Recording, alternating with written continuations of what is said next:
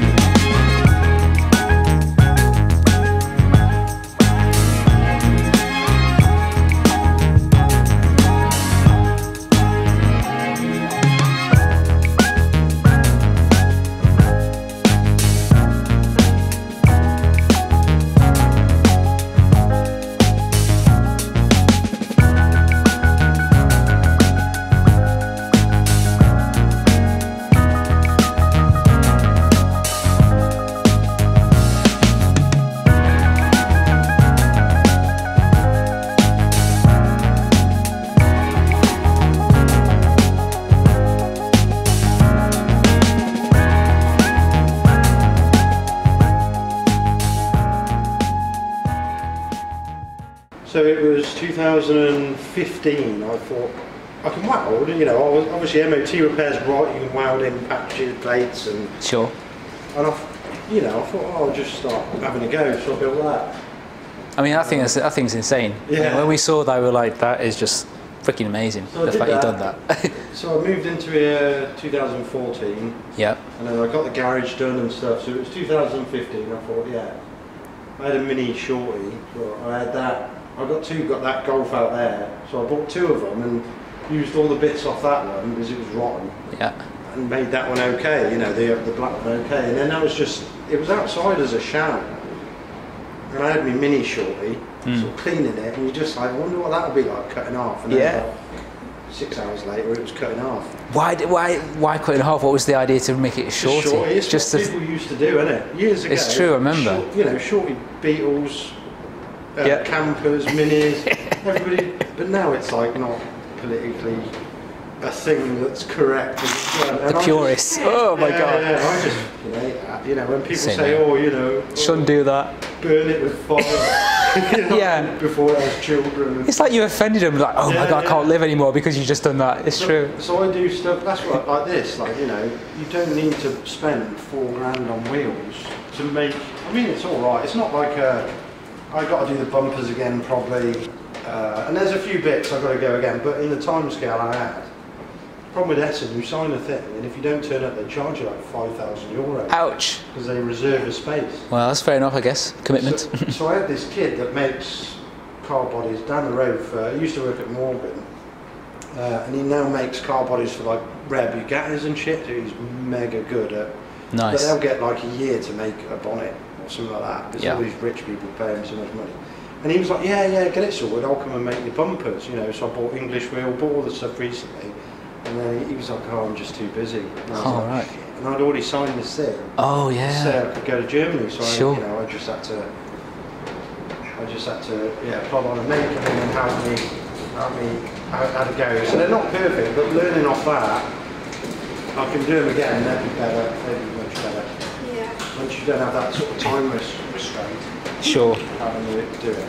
But, uh, but yeah, that was to say with the bodywork side, I'm still learning. Like, I'm no Mm. master craftsman. Yeah. but it's just good fun. It's real good to just get stuck in. You know what I mean? So to do the stuff you're doing with the, the TV work, is that something that they saw your work and went, wow, this is crazy? Yeah, NEC Classic Car Show. Ah. Uh, 2016 in November with that.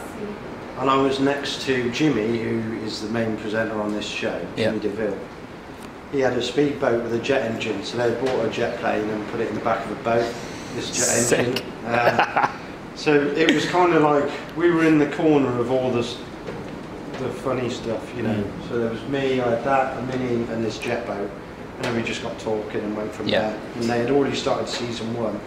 Wow. They were having problems with the people building it, so I ended up all the like half-built badly cars came down here one at a time, so I finished them. You to fix them. and Yeah. then got them, got them back to them, and then they finished the show, and then it kind of just went on from there, you know.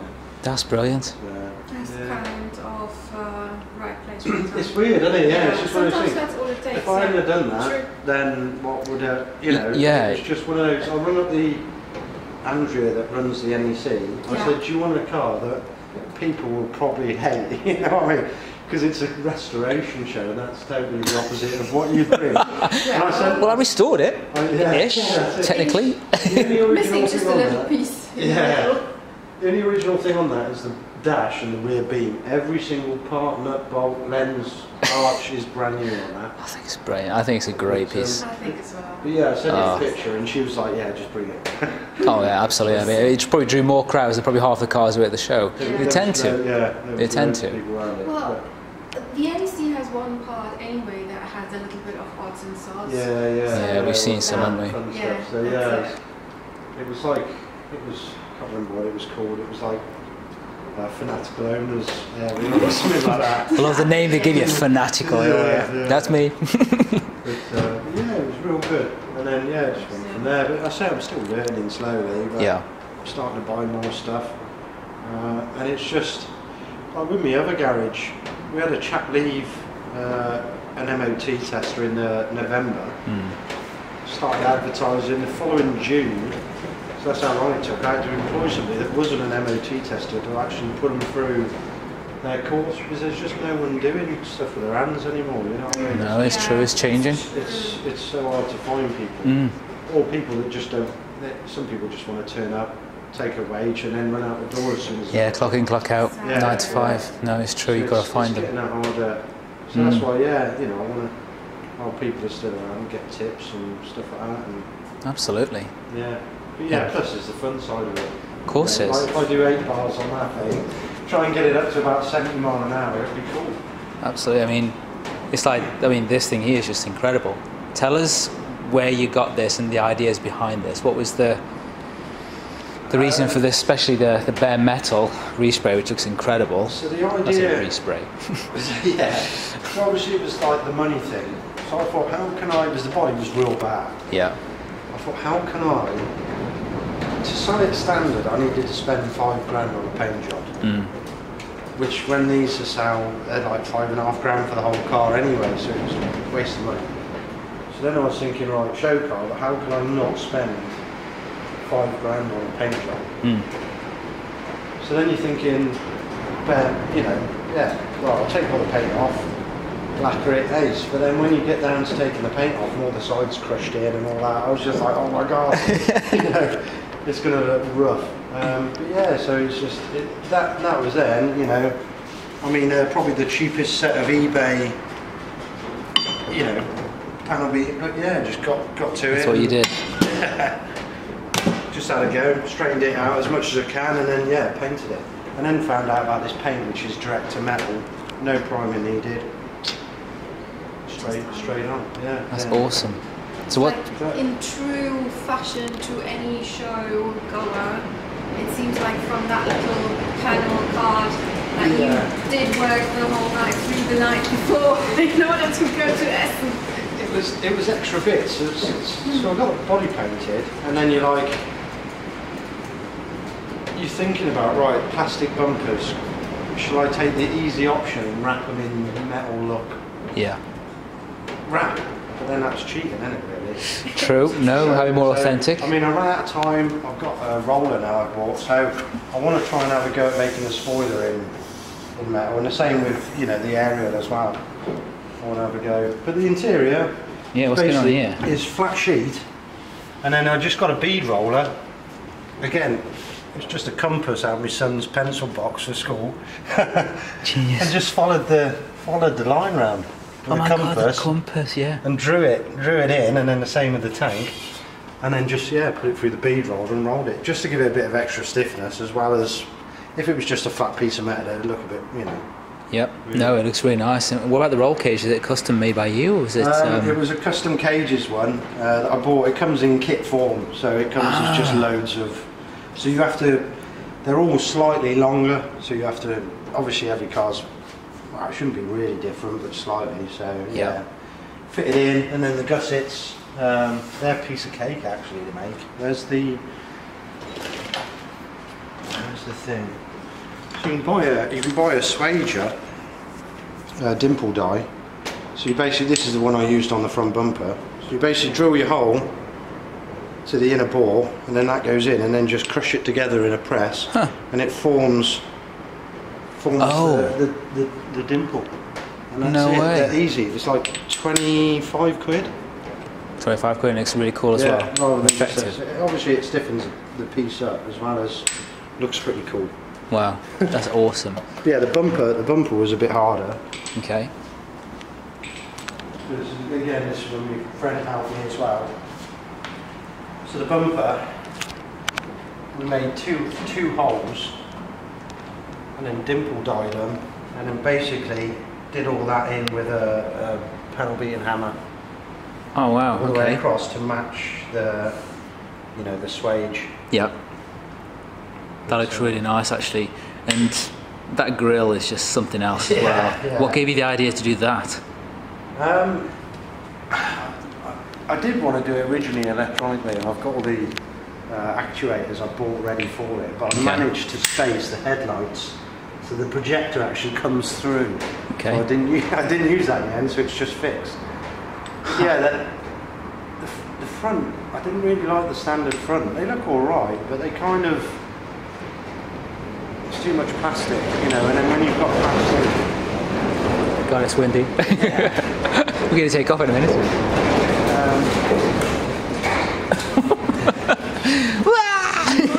Away we go. Lifting off at some point. Is it like Alice in Wonderland or something? Jesus. Um, yeah, I just didn't want plastic on it basically. Yeah. So I got away with the bumpers and then I didn't want a plastic grill and so I just thought, yeah. Well, the rest is metal Yeah. kind of look, and it would, like you say, it would spoil that overall look, and I think it looks Yeah. insane. I see Mad Max kind of vehicles when I look at that. I'm like, this is like kind of real rough and It's just, it's just older, you know. It's, uh, looks brilliant again, it's thing, you know, people say, oh, you know, yeah, but the headlights this and the headlights that. Blah, blah, blah, yeah. blah, blah, blah, blah, blah, yeah, yeah. yeah, no, just appreciate I mean, this looks incredible. Um,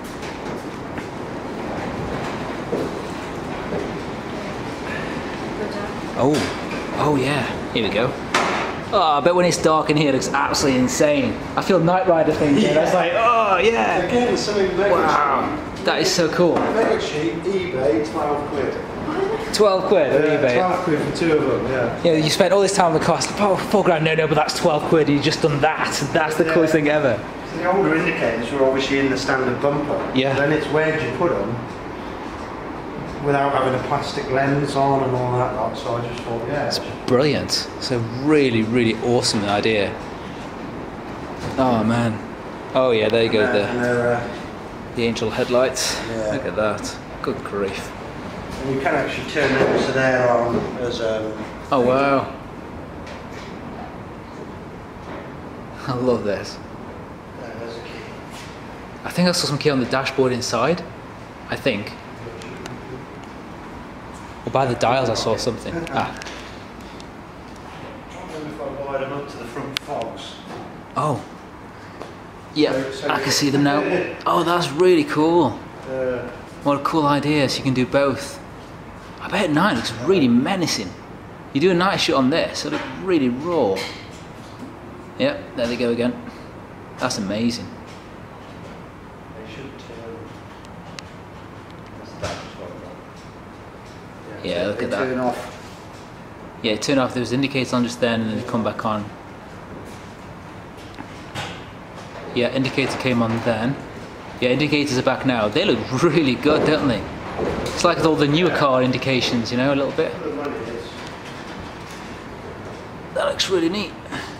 That's brilliant. What a cool modification. Yeah, way of hiding them, you know. Sure. And what's what's happening inside here? Because I mean, those seats are just uh, something incredible. Where did they come from? So again, yeah, just Kirkey.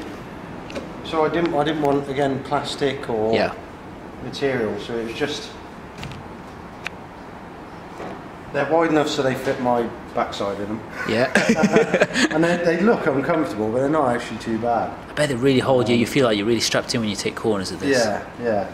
So it's it's it's again it's I didn't want to use too much alley because it's a different Oh, oh it yeah. sounds a bit weird. It's a different shade, isn't it? I can see. Yeah, it's The slightly Same as like the bumpers are steel because if I'd have done it alley, it would have been a lighter silver, so you know they would have stuck out more. So that's why they're Understandable. of. Yeah.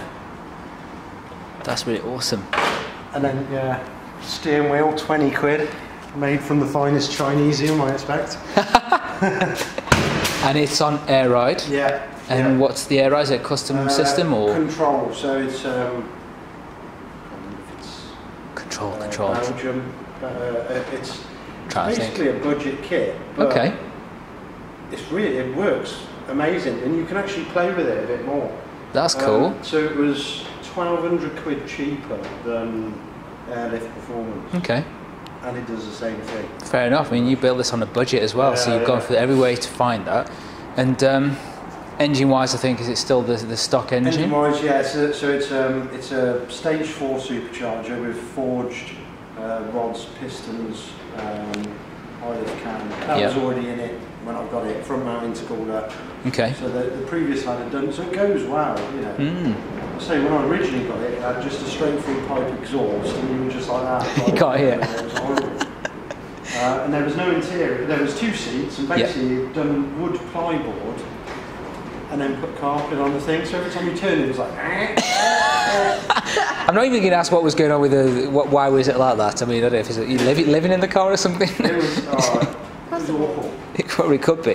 Could be, yes. And I love I love the steel wheels as well. I mean, Yeah. what size are those front and back? So they're 16, they're 8 by 8 by 16 and 9 and a half, I think. Yeah, stretched. Um, yeah, the only thing I had to do was make camber plates because the, the original wheel, it, it actually came out about there. Right. So I had to um, Yeah. make some camber plates to actually swing that in. And they are from a. Um, did you say caddy? Caddy, Like- yeah, caddy. Just they just look incredible, don't they? Yeah, Sometimes I always think steel wheels are so underrated. yeah. And if you choose the right ones, like you have, it just makes the car look perfect. I can't even think any other set of wheels on this. Anything branded or new, I'd be like, no, I just wouldn't do it. This is amazing. Again, like price wise, 320 quid, four, four wheels. Flip it, you You said actually earlier something quite intriguing. You bought them, and the guy insisted he needs to powder coat them, and you Yeah. stripped them straight away. You actually asked him as well, Yeah, yeah. and he still insisted. because of the cost and time to get the getting powder coats off terrible. The cost and time to get him off. I offered him more money Yep. to not powder coat him, and he said no. Nine, nine, I has to send it over. like, no, no, no, no, moisture, moisture, and, you know, I don't want them rusting and all this. That's and I fair was like, enough. I'm going to paint them, just don't powder coat. And then yeah, Yeah. they came powder coating. So How long did it take you to strip it back off? It took about four hours per wheel. Gosh. to get it off because the, the shot glass, I say, it's like powder coat, it's like rubberized. So instead of it like on a paint, it would hit and, and, and etch it away. Mm. Gosh. The powder coat makes it just bounce off, so it's just you there for ages, like doing one spot. You know, like, oh, that's done. And Bored it now. Yeah, it just takes ages. and ages. Gosh. That's uh, amazing. But yeah, managed to hide the indicator, the side ones as well. Because I didn't Oh, want- yeah. Again, the big lens is like a huge. You know, people will probably say, "Oh, it's a bit small." Oh, that looks good to It's me. still there. I can see it and I'm behind the camera and I'm over here. I can still see it, so it works. Yeah, so So how, how high does it lift then when the air goes up? uh, I'm curious of the ride height you guess. I mean, is that is that as low as it goes? I'm pretty sure. Yeah. People are always asking when there's something on air ride, lift it, bring it down. I want to I mean, see. it So looks like a different car when it's lifted. It's um, yeah, I can imagine it is. Aha. Oh yeah, it rises pretty high, doesn't it? Do you know what? I think that the way that it was dropped before that that level, it's a nice. I think if you did go in low, you'd have to really body drop the head. But well, at least you can drive everywhere without any problems. yeah. Drop it. best. That's amazing. See, I think it's is it, is it Germany where the headlights have got to be a set height off the ground, isn't it? In Belgium as well. Yeah, the Um, TUV it's stuff. by And, you have to be, um, I think it's 20 centimeters above the ground. Well, 10 centimeters from, um, like, underneath the chassis. Yeah, yeah. And, and then from there, another set of centimeters to the headline. Yeah. And they're crazy enough to run around With with. a stick, innit? Yeah, isn't it? That's the best thing about that ride, isn't it? Because you get somewhere. Yeah. Yep. You haven't ripped the front end off getting there, and then No. you can just plonk it down. It's changed a lot since we when it first came out. It was so bad, and now they're perfect. Yeah. See, out of out of the four grand which I spent on it, uh, two thousand two hundred quid was the air ride. There you go. So Yeah. if I hadn't have done air ride and bought, uh, there's a coilover kit there for this, which was 150 quid. Yeah. If I hadn't have done this, I'd have done it at like more than half. So the whole car then would have been a lot less, you know. That's brilliant.